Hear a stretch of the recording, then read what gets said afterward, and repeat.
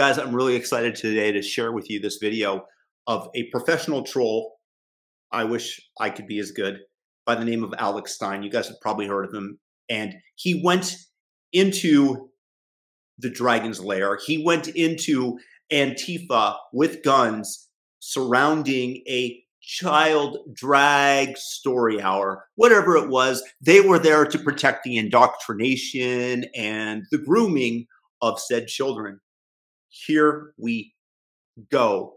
See, this guy keeps on trying to bump me every time I walk by.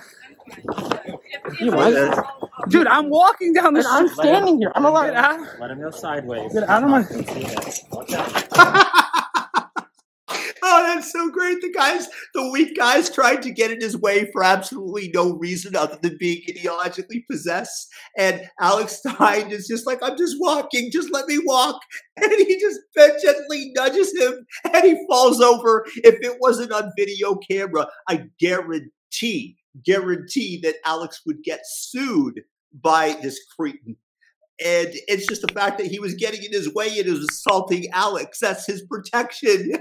it's so great that these things are videoed so that we can all take part in laughing at these laughing stock people.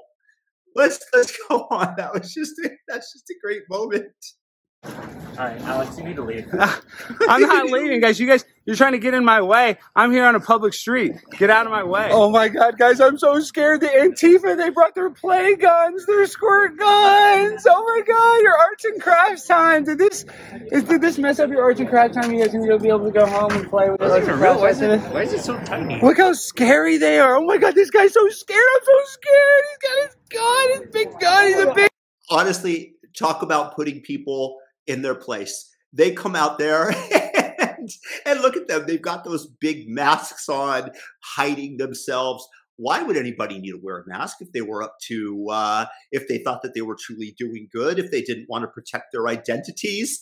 You know, you know that these people know that there's something wrong, which is why they put on the mask. So maybe that they can commit a crime and get away with it because there's no immediate way of identifying them, or they're just trying to hide themselves because inwardly they don't want to look back on this years from now and realizing that they were protecting pedophiles from going ahead and grooming children. Ah, oh my god, I'm so happy you're protecting these children so they can go get indoctrinated and go in there for transgender story time. You're such a good American. God bless this guy. Look at him. I'm scared. Dare you. I mean, these people, these are the real cowards. They're hiding behind their masks. They got their little guns. They think they're so tough. We're at a bookstore here in Denton, Texas, where they're trying to do drag queen story hour. And of course, the typical people here with their masks on, not able to actually stand up for what they believe in because they're all cowards. Officer, you think it's unusual they have their, their assault weapons like that out here in front of a place like this? Is that normal? No comment. I don't blame her. I'm means- walking down the I'm standing here. I'm allowed. Get out, Let him go sideways. get out of my. oh, that's just great. I'm not children. But see, that's how that's these are the real scaredy cats. They gotta walk around with a gun. They can't handle themselves like a real man.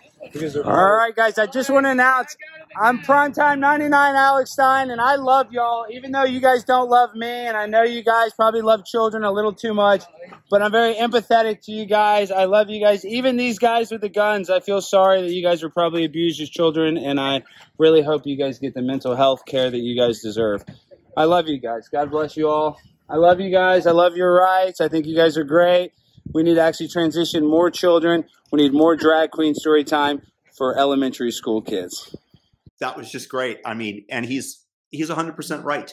And this is how you take these people down. You show their idiocy. You make fun of them, which is why the jesters are always the first with the axe. Those who can commit satire against the establishment can demonstrate them for what they are, which is why Alex Stein is so effective. And we can see these nincompoops, to use a very euphemistic phrase, for what they are scared little people that were likely abused, unfortunately, as he points out. And yes, they do need mental health.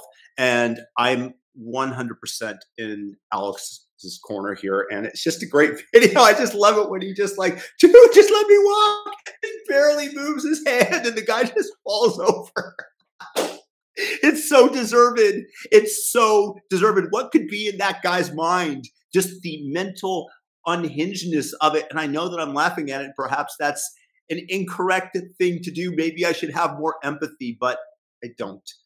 Uh, and yeah, so let's continue to make fun of these horrendous people. And uh, it's very brave of him, by the way, to go in there. It takes tremendous bravery. These people are mentally not with it. And despite the fact that there's a camera, there's no necessarily easy way to identify these people with a mask. So who knows what they are capable of doing. So I don't necessarily recommend doing this exact thing, but continued mocking of such people will have an effect on the public.